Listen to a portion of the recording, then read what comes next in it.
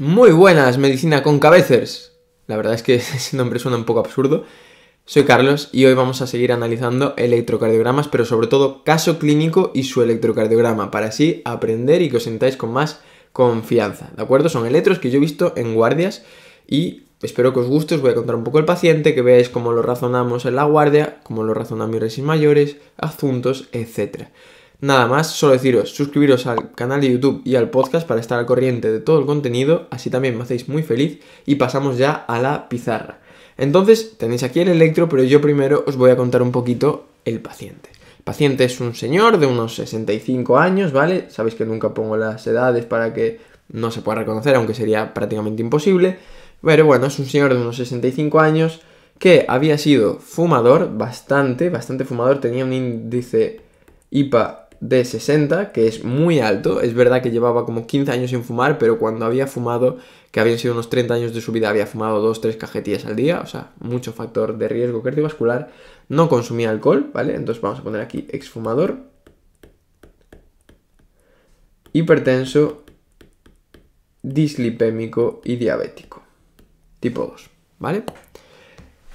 Entonces, este señor ya tenía bastantes antecedentes cardiológicos porque había tenido un infarto hace muchos años, le habían revascularizado con un stent, luego se le habían tenido que revascularizar otra arteria, paciente cardiópata, ¿vale?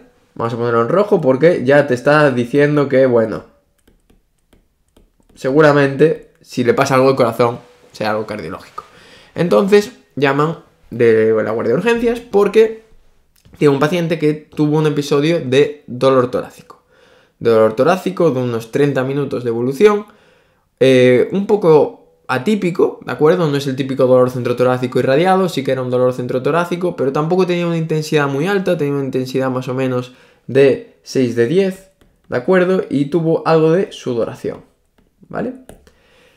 Entonces, bueno, el señor ahora mismo está sin dolor, muy importante, porque si tiene dolor es un criterio de gravedad en el momento actual, sobre todo si es un cuadro de dolor típico de cardiología, o sea, de angina, opresivo, centro torácico, que no cede con nitroglicerina, ¿vale? La nitroglicerina es un vasodilatador, si tú le das dos puffs de nitroglicerina sublingual y cede el dolor, digamos que dentro que cabe no es una emergencia, ¿de acuerdo? Si no cede el dolor, sí. Sobre todo ahí incluso eleve o no eleve el segmento ST. Pero bueno, nos llaman por eso, ¿no? Tenemos estos antecedentes, nos cuenta eso que tuvo un episodio hace unas horas de dolor torácico que se le cedió automáticamente 30-40 minutos de forma autolimitada y con estos antecedentes. Entonces, bueno, ya tienes un poco la historia hecha, paciente cardiópata, sí que puede ser que sea algo de origen cardiovascular coronario, ¿no? Entonces, lo siguiente que tenemos que hacer, historia clínica hecha, siguiente es el electrocardiograma. Entonces siempre miramos el ritmo, frecuencia, eje y repolarización. En este caso el ritmo sería una FA porque vemos que es bastante arrítmico todo, ¿vale? Es muy arrítmico, los intervalos ya la tenía diagnosticada, ¿de acuerdo? Y vemos pues que el eje sería en 1 positivo, en AVF más o menos positivo, también sería un eje que parece normal tirando un poco desviado frecuencia cardíaca sería más bien bastante taquicárdica, sería 300, 150, 110, 115, ¿de acuerdo? Y ya vamos a lo importante, ¿no? Ante un dolor torácico está bien mirar todo, pero lo más importante es mirar la repolarización, la onda T y el segmento ST. Entonces aquí vemos en uno que es normal, uno la solemos mirar con AVL porque sería cara lateral, cara lateral alta, normal, Vemos que en 2 parece que quiere hacer un poquito de infradesnivel del ST, pero muy mínimo. En 3 bastante normal. Y AVF, que sería cara inferior, también más o menos bastante normal. ¿Qué vemos luego? Vamos a las derivaciones de V1 a V6, V1 normal, V2 normal, sí que tiene QRS pues un poco ancho, tiene morfología un poquito de bloqueo de rama izquierda. Y sí que vemos aquí una cosa, en V4, V5, V3, V4, V5, vemos descenso del ST. ¿De acuerdo? Descenso del ST. Esto nos suena, ¿no? Nos suena a escasez. De esto ya hemos hablado.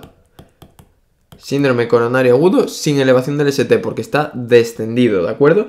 Esto quiere decir que probablemente haya una zona del miocardio que no le esté llegando bien la sangre. Que no haya una oclusión completa, muy probable, pero que sí que haya una oclusión bastante importante que está limitando mucho el flujo de sangre. Entonces, ¿cómo se maneja esto? ¿De acuerdo?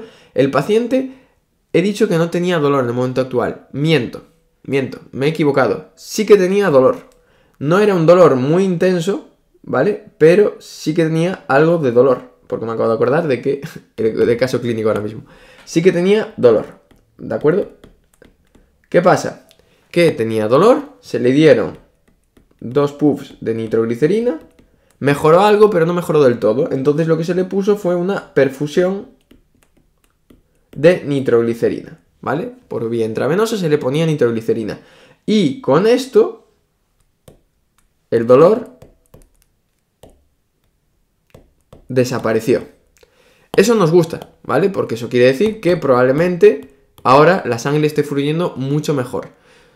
No quiere decir que haya desaparecido el problema, pero sí que no es una emergencia, ¿de acuerdo? Entonces, si con nitroglicerina cede el dolor, pues puede decir que, digamos que la sangre sigue fluyendo, que eso es muy importante, ¿de acuerdo?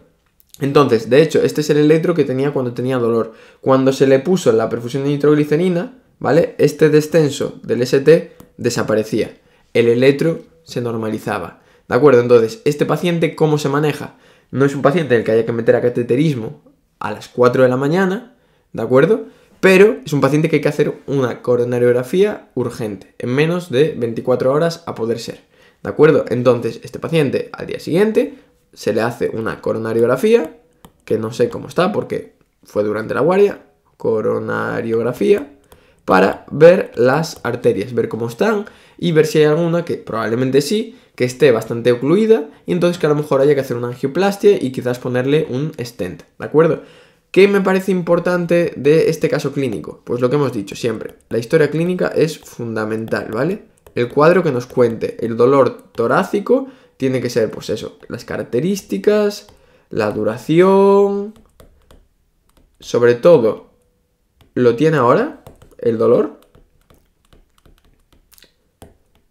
Cede con nitroglicerina. Estos son cosillas que son muy importantes, ¿vale? Sobre todo para ver cuánto de emergente o urgente es, ¿de acuerdo? Luego el electrocardiograma, ¿vale? Que en este caso era electrocardiograma de Escasest.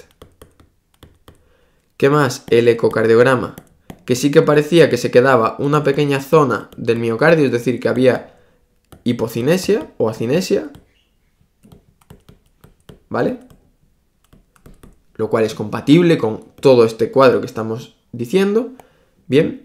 Y las analíticas, ¿vale? Los marcadores de daño miocárdico, que son las troponinas. Y con todo esto podemos hacer un diagnóstico. Entonces las troponinas salieron un poco altas, quiere decir que sí que hay marcador de daño miocárdico, por lo tanto probablemente sí que estemos teniendo un síndrome coronario agudo, bien, y que seguramente hay alguna arteria que esté bastante taponada. Entonces, con todo esto, lo que hacemos es coronariografía y vemos las arterias coronarias. Y si alguna es susceptible de tratarse si solo es una lesión, ¿vale? Porque si están lesionadas el tronco, eh, es decir, la salida de la descendente anterior y la circunfleja y también la coronaria derecha, o si es muy complicado, pues a lo mejor habría que hacer cirugía de bypass o habría que hacer una angioplastia con stent en hemodinámica. Eso depende, pero quiero que te quede sobre todo de cómo entender un caso clínico, cómo razonarlo, qué preguntar, qué cosas son importantes y qué cosas no. Así que si te ha gustado, dale like, suscríbete y nos vemos en el siguiente vídeo.